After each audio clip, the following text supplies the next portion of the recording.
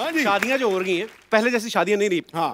पूरा माहौल सजा रहता हाँ। था सारे घर पे चहल पहल आजकल तो इवेंट ऑर्गेनाइजर आ गए। हाँ। पहले के टाइम पे ऐसा नहीं होता था। पहले बुज़ुर्ग घर के जो थे वो डिसाइड करते थे कि कौन क्या करेगा क्या नहीं करेगा। हाँ। अब देखो जितने भी घर के काम होते थे सब घर वालों की ड्यूटियाँ लगी होती थी। बिल्कुल। जैसे सुबह सुबह सब्ज़ी लेने भेजना ना किसी को तो उस चाचा को भेजते थे जिसकी शादी नहीं हुई। क्यों? हाँ, उनको पता था कुवारा जल्दी उठ जाएगा सुबह। वो जाता था। उसके बाद जब ये सब्ज़ियाँ लेके आ जाता था फिर हाँ। भतीजे के साथ उसको बर्फ़ लेने भेज देते थे। अब स्कूटर पे बर्फ़ लेने जा रहा है गर्मी में लू पड़ी हुई स्कूटर हाँ। पे। सामने से तड़कता फड़कता मुँह लाल हो रहा है। पीछे से ठंडी ठंडी बर्फ़ लग रही है। तो होता ना कि आदमी कूल डाउन हो रहा है इंजन। तो जैसे जैसे ठंडी लगती ना तो आदमी स्कूटर पे ऐसे होता जाता है। पीछे रखे ए, पीछे रखे बैठ।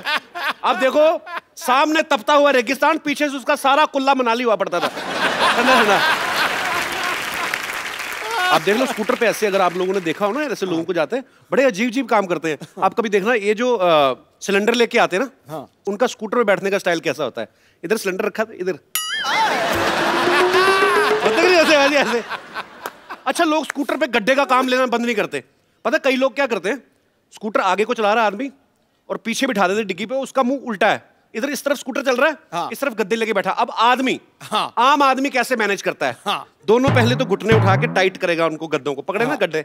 एक घुटना उठाया फिर इधर वाला उठाया। इधर से बाजू ऊपर से ठुड्डी लगा के टाइट कर लेता है।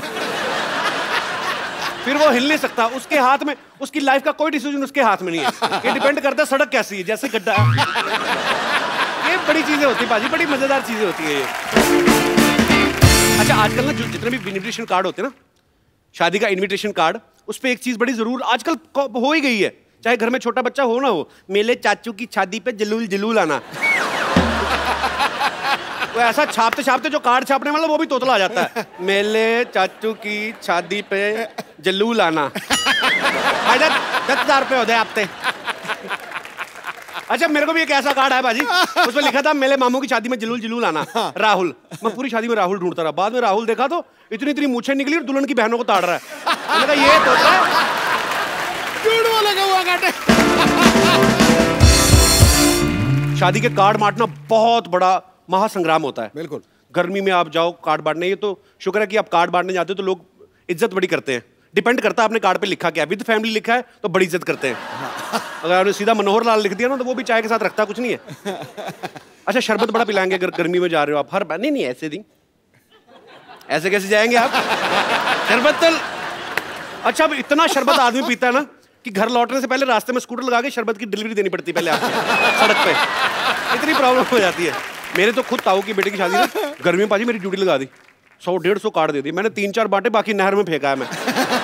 उनको तो तब पता चला जब शादी में मछुआरे आ गए ना। कई लोग तो इनविटेशन ऐसा देते पोल खोल के रख देते सामने वाले की। कैसे? और साफ़ लिखते थे भंवरलाल और पहले वाली पत्नी।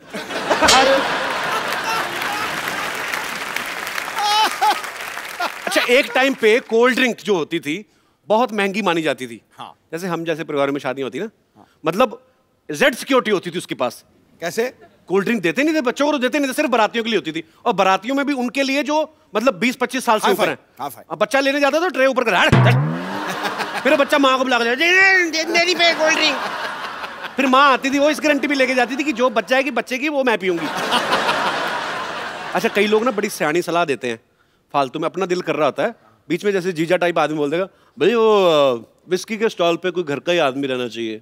तो लोग बोलते हैं जीजा जी आप खुद क्यों नहीं डाल देते ठीक है, मैं उसको वहीं से तसल्ली हुई थी कि अब मैं ठोकूँगा एक के बाद एक। शराब से याद है, कई लोग शराब पी गए थे ना, पूरी बारात गाना वाना चल रहा है स्टेज पे, ये वो, ऐसा आदमी आगे पहले पूरा गाना रुकवाता है। नहीं नहीं नहीं नहीं, बंद बंद बंद। बार बार देखो। फिर डांस फिर वो उसे गंदा ही करना चाहे, जो मर्ज़ी गाना लगा दो। अरे, शादी में जो गेस्ट आते ना वो खाना वाना देख लेते पहले कि कैसा है उसके हिसाब से शगुन डालते हैं। भाई दो मिठाइयाँ दो पूरियाँ एक नान था दो सौ डाल दो। बच्चा बोलता है पापा आइसक्रीम भी थी। चल सौ और डाल दे। बीच में से बीवी बोलती काहे का सौ और डाल दो? दाल तो सारी जली हुई थी। चल पचास निकाल ले। उनका यही चलता रहता है। अच्छा जो तो एक्सपीरियंस लोग होते हैं ना जो अक्सर शादियाँ अटेंड करते रहते हैं वो कभी धोखा नहीं खाते आपको पता है? वो पूरा चेक करते हैं पहले मेन्यू क्या क्या लगा हुआ है। पूरा ताड़ के ना पूरा स्कैन करते हैं सब्ज़ियाँ उसके उसके बाद प्लेट आते हैं और महँगी महँगी सब्ज़ियाँ डालते हैं। कई लोग भोले होते हैं बेचारे दिनेश जैसे ना। सीधे पहले काउंटर से शुरू होते हैं पहले चावल भर लिए। उसके बाद देखा काजू की सब्ज़ी फिर इधर पलट रहे होते। अच्छा कई लोग तो ऐसे भुक्कड़ होते हैं ना। शादी खत्म हो गई निकल भी गए स्कूटर पे जा रहा है। पीछे से पापा बच्चा बोलता है पापा मम्मी रह गई? आ जाएगी अपने आप। पापा रसमलाई खाई थी? रसमलाई कहाँ थी? अरे वो जलेबी वाले काउंटर के पास पीछे स्कूटर वापस। छोड़ना कुछ नहीं। मम्मी गई बाढ़ में।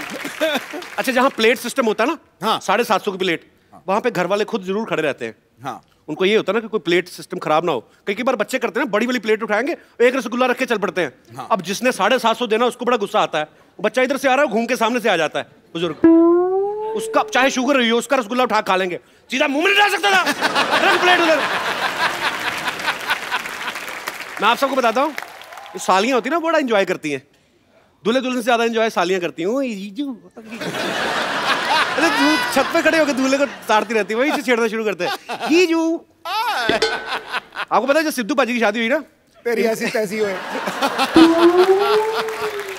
जब सिद्धू पाजी की शादी हुई है पैदा नहीं हुआ था। लेकिन इसको पता सारा कुछ है। सालियों ने शगुन मांगा। कहता कितना शगुन बताओ? कहती है इक्यावन सौ रुपया। फिर भाई ने शेर ठोक दिया वहाँ पे। क्या? कहते देखो मोहतरमा हाँ। शादी के पहले दूल्हा नहीं सोता और जो है सोता वो है खोता। और मेरी बात सुनो मोहतरमा साढ़े बारह सौ के जूते का इक्यावन सौ नहीं होता ठोको।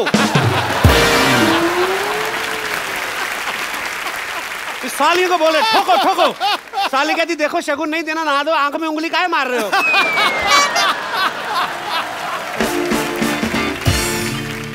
कई लड़कियाँ ना शादी में माधुरी दीक्षित जैसे तैयार होके आती पूरा पल्लू वल्लू ना। हम आपके हैं कौन लहंगा बनवा देना भैया? वैसा पहन के आती हैं। हाँ। ग्रीन ब्लाउज व्हाइट ये सब जो भी। जब जैसे ही खाने की प्लेट हाथ में ना हडिम्बा बन जाती है बाजी। दो मिनट में ना चावल का पहाड़ खत्म कर देती है। हडिम्बा। हडिम्बा की तरह खाती है। मैंने देखा है मोहल्ले की सबसे शाही बहू होती है ना जो जिसने कभी मुँह नहीं खोला किसी के सामने हाँ। वो भी इतना मुँह खोल के दो दो गोलगप्पे एक साथ डालती है। और खाने के टाइम पे सारा पता चलता है। मेरा दोस्त है ना दिनेश बेचारा। इसकी शादी जब हुई ना पाजी बड़ा हैवी सीज़न चल रहा था। दिल्ली में चालीस हज़ार शादियाँ हो रही थी घोड़ी ना मिले। तो इसने पटा के ना किसी को बोल दिया कि घोड़ी के ऊपर चद्दर डाल देना पता नहीं चलेगा कौन सा खच्चर ले आया। खच्चर होती है थोड़ी हाइट में कम। ये शादी में खच्चर जितना चल रही उतना ये भी चल रहा है।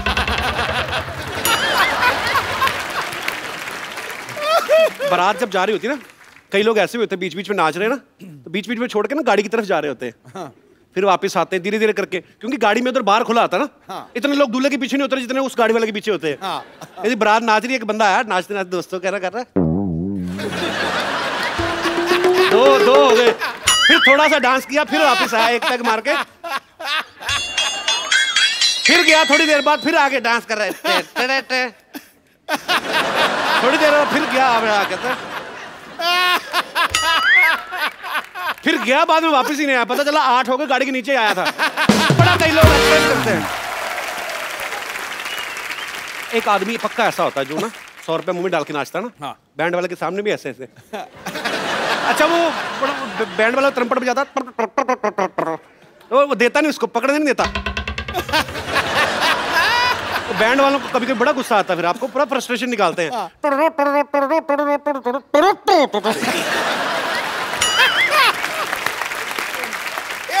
ये म्यूज़िक वाली गाली मैंने पहली बार सुनी है।